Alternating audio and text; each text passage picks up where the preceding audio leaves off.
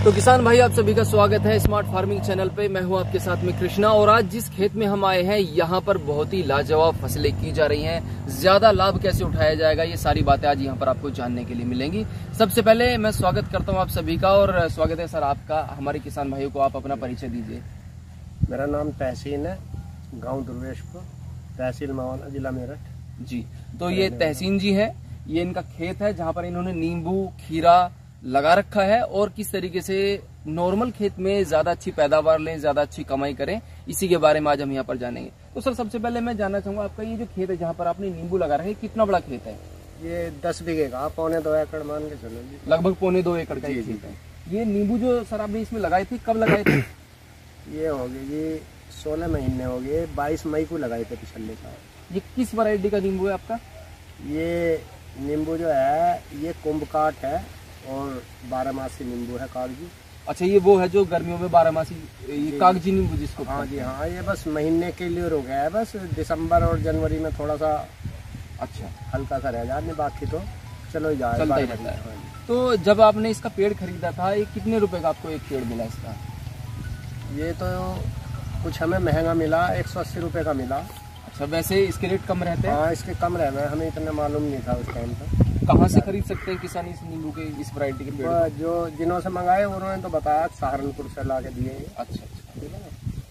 तो ठीक है वैसे नींबू सही आ रहा है। सही आता है फ़सल। हाँ, वैसे सही है तो फ़सल है। अभी तक कोई फ़सल आप इससे ले चुके हैं?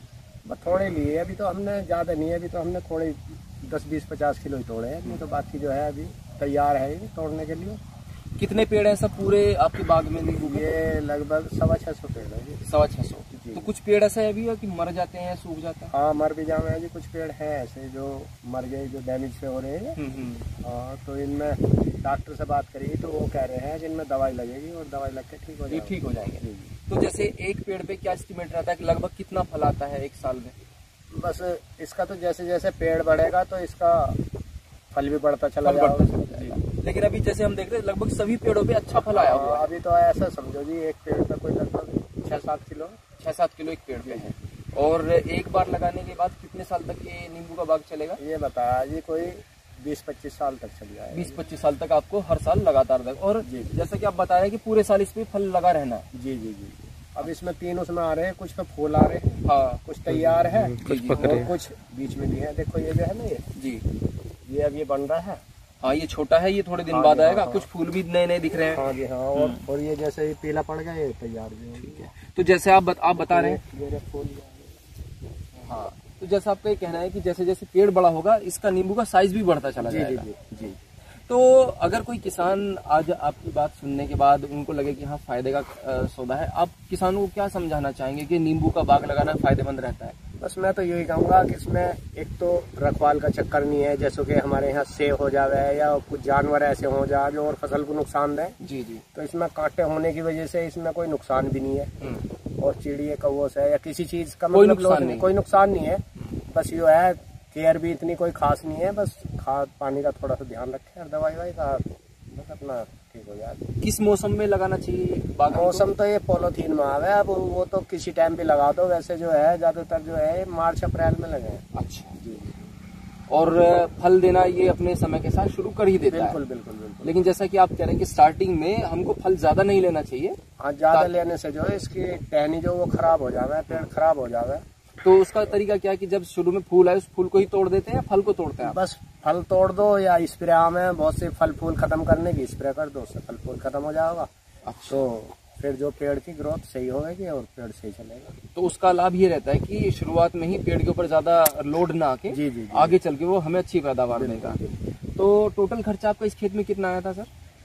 इन्हों को लगाने को आया था जब ये लगाए थे मैंने लगभग कोई सवा लाख का खर्चा सवा लाख का। अभी तक कितनी कमाई आप कर चुके हैं इस खेत से? कमाई तो ज़्यादा नहीं अभी तो दस पाँच हज़ार रूपए की देखी है। लेकिन ये है कि आने वाले 20 साल तक ये आपको अर्निंग देगा ही देगा। हाँ देखो लगा ऐसा रहा है कि जैसे ये आमदनी ठीक ठाक देवे जैसे इस पे फल आ रहा हो और जैसा इसका हिसाब निकाल जाए क्या अंदाज़ा लगा रहे हैं आप इसका? अंदाज़ा तो ये बताया हमें जब ये पाँच छह साल का हो जाएगा तो एक कुंटल से भी ज़्यादा देगा देगा। यानी अच्छी पैदावार अच्छी पैदावार का हिसाब होगी। तो किसान भाइयों जितने भी लोग आप इस वक्त देख रहे हैं मैं आप सभी की यही कहना चाहता हूँ तहसीन जी ने कितना अच्छा काम कर रखा है। एक ज़मीन में इन्होंने नींबू का बाग लगाया जो भी खर्चा आया लेकिन आने वाले 20 साल तक अब कोई खर्चा एक्स्ट्रा तो होगा नहीं सिर्फ़ कमाई होगी। उसके अलावा बीच में आप देखेंगे ना बीच में जगह बहुत है। इस बीच में इन्होंने खीरे लगा रखे सर ये खीरे आपने कब बोए थे? खीरे ये दो सितंबर को बोए थे दो सितंबर को बोए थे। और अभी फल आना शुरू हो चुका है। हाँ इसमें अभी वो पांचवी तोड़ है। पांचवी तोड़ है। तो एक दिन में लगभग कितने खीरे उतर जाते हैं आपके खेत से? लगभग तीन चार कुंटल निकल जाएँगे एक बार में। एक बार में। और जैसे कि आप बता रहे थे कि नवरात्रों में अच्छा रेट मिला हाँ आपको? उसमें भाव अच्छा रहा जी उसमें पैंतीस रुपए किलो तक बिका और अभी 20-25 किलो जा रहा हाँ है? जी हाँ बीस पच्चीस का रेट अच्छा अच्छा। तो ये अभी फ़सल कितने दिन बाद तक और चलती रहेगी खीरे? ये अभी जो है कम से कम कम से कम एक महीना और चल जाएगा एक महीना और चलेगी। सर खीरा बोने का खर्चा कितना आया था आपका? ये तो कोई खर्चा खास एक नहीं अंदाज़ा हमारे किसान भाई भाइयों को। तो ये था कोई तीन हज़ार रूपए किलो के करीब तो मेरा बीज आया था आठ सौ ग्राम बीज लगा इसमें। अच्छा अच्छा। और लगाने वाली जो नफरी थी आठ सौ रुपये उन्हें दिए। अच्छा। बाकी थोड़ी नलाई गुड़ाई का और ये दवाई का खर्चा वह हम मोटा मोटा अगर पाँच छह हज़ार का खर्चा मान लेते हैं मोटा मोटा हाँ बस ये समझो कि एक एकड़ में जो है तुम दस हज़ार का मान के चलो। चलिए दस हज़ार का खर्चा आया। तो जब ये फ़सल पूरी तरह से पक जाएगी और कट जाएगी लगभग कितनी कमाई आप सोच के चल रहे हैं हो जाएगी? तो कमाई तो लगभग ऐसा है अगर रेट वेट सही रहा तो कम से कम कम से कम मेरे हिसाब से डेढ़ के आसपास डेढ़ लाख रुपए के आसपास तो हो जाएगी हो जाएगी। तो देखिए किसान भाइयों अब इस खेत में नींबू का बाग तो है जैसा है। अब बीच में जो खाली जगह थी उसमें इन्होंने बोए थे यहाँ पे खीरे और जिसके जो एवज में इनको एक अच्छी खासी रेट में फ़सल इनकी जा रही है वो इनको मिल रही है। एक और चीज़ मैं जानना चाहूँगा अब जैसे खीरा यहाँ से आप उजाड़ देंगे जब ये फ़सल हट जाएगी तब आप इसमें क्या बोएँगे? इसमें प्याज बोऊँगा जी मैं। प्याज बहूँगा बोऊँगा। और प्याज में जो मैं पपीता लगाऊँगा। अच्छा। हाँ। तो पपीता भी हो जाएगा इसमें और ये नींबू तो हो ही हो रहा। हम्म। और प्याज भी और प्याज भी अच्छे रेटों में जाती है? हम्म। तो देखिए किसान भाइयों हमें सीखना चाहिए तहसीन जी से कि किस तरीके से अपने एक नॉर्मल खेत को इन्होंने एक बिज़नेस वाली खेती बना दिया। जैसा कि मैं अक्सर आपसे कहता हूँ कि आपको खेती में भी अपना बिज़नेस वाला दिमाग लगाना चाहिए। अब एक और मैं सर के बारे में आपको बताऊँ कि एक तो इन्होंने अपने खेत पे वहाँ पर स्पेलर भी लगा रखा है। सर उसके बारे में थोड़ा सा बताएँगे किसान भाइयों को? हाँ भाई स्पेलर तो जो है अपनी सरसों लिया हुआ है और उसे तेल के देवे तो उसमें भी जो है अपना हज़ार आठ सौ रुपये बची जहाँ कुंटल वो भी बचते हैं हाँ। प्लस आप अगर अपनी सरसों पेल के बेचेंगे तो तेल का वो भी आपका एक बिज़नेस है अपना। और मोटरों का काम भी है ना मोटर मोटर वाले मिस्त्री भी हैं। हाँ हाँ। तो मतलब यहाँ पर जो इंसान आएगा उसको फिर किसी की टेंशन की ज़रूरत नहीं है। यहाँ तो काफ़ी वो है। जी जी जी। रोटर वेटर कर दे हम सब चीज़ करते हैं ऐसी कोई बात नहीं है तकनीकी हाथ के दस्तकार हैं। जी जी। तो किसान भाइयों सबसे अहम बात जो ये है आपको एक नई सोच एक नई प्रोग्रेसिव सोच का मालिक बनना पड़ेगा।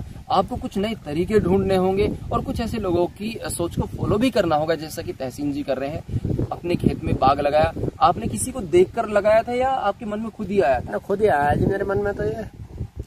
बाग लगाना। हाँ जी हाँ। मान लो ईख जो है ईख साल भर का तो मामला वैसा है। इसका साल भर में फ़सल आवा है जी इसकी। हम्म, हम्म, और साल में भी इसके पैसे नहीं मिल पाते। जी। उसमें अब तक पेमेंट नहीं मिला पिछले गन्ने का पेमेंट अब लो नहीं मिल रहा।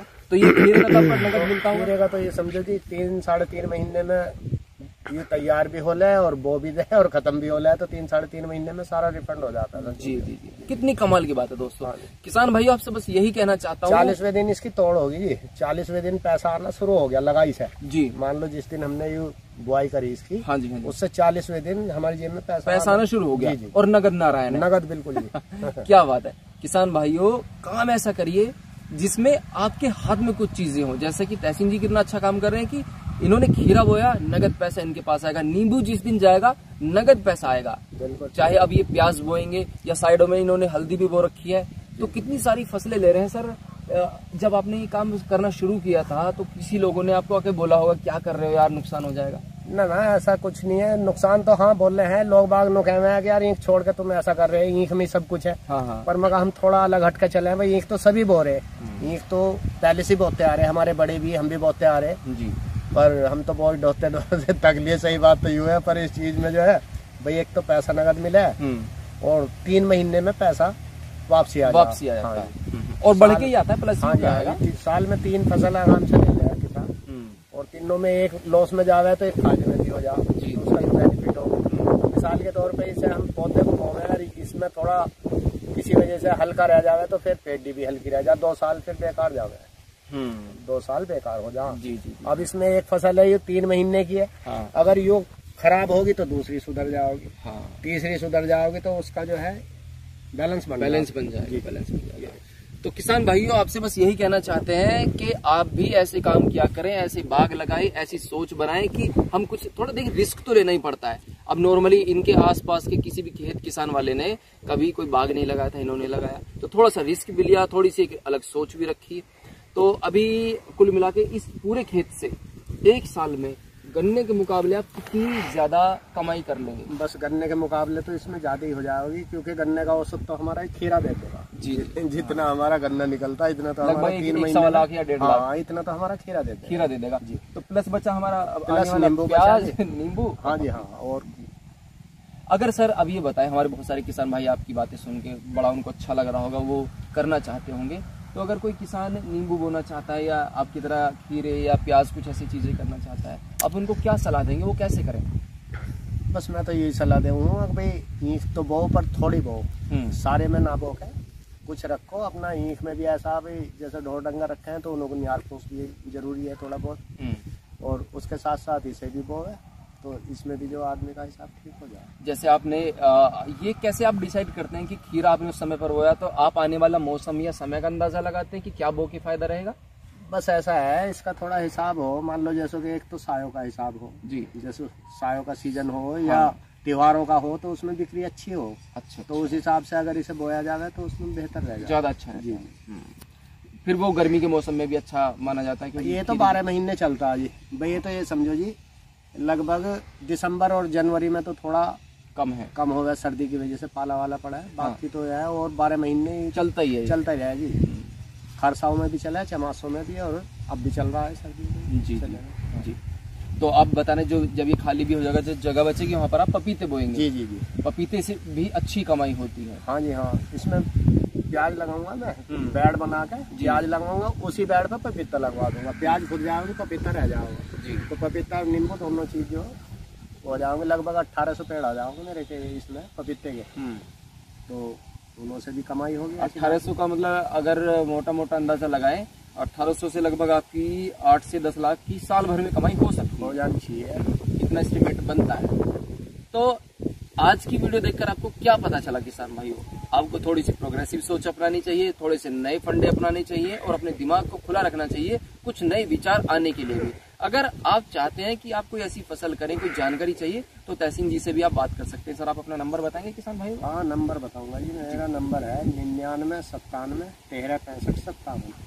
तो आप इनसे बात कर सकते हैं। आप नींबू के बारे में खीरे के बारे में या पपीता जो भी फ़सल के बारे में आप जानना चाहें आपकी पूरी तरह से सहायता ज़रूर करेंगे। सर चलते चलते हमारे किसान भाइयों से आप कुछ कहना चाहेंगे? बस मैं तो यही कहूँगा भैया सभी इस काम को करें और थोड़ा थोड़ा मतलब निकाली से एक चीज़ के साथ में ना रखें जी। भाई और भी करके देखे थोड़ा करे से ही होगा बिना करे तो देखो कुछ नहीं होने का। रिस्क तो हर चीज़ में है। जी जी। भाई बिना रिस्क के तो कुछ कुछ भी नहीं है। हाँ। जी। तो रिस्क तो लेना पड़ेगा।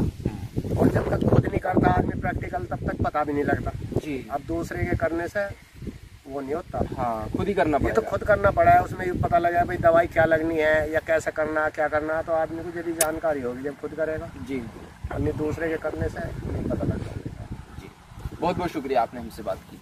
तो किसान भाइयों आज की वीडियो में अगर आप पहली बार आए थे तो इस चैनल को सब्सक्राइब कर लीजिए वीडियो को लाइक करके अपने दोस्तों के पास भी शेयर कर दीजिए। जानकारी पसंद आई हो तो नीचे कमेंट कर दीजिए। धन्यवाद जय हिंद।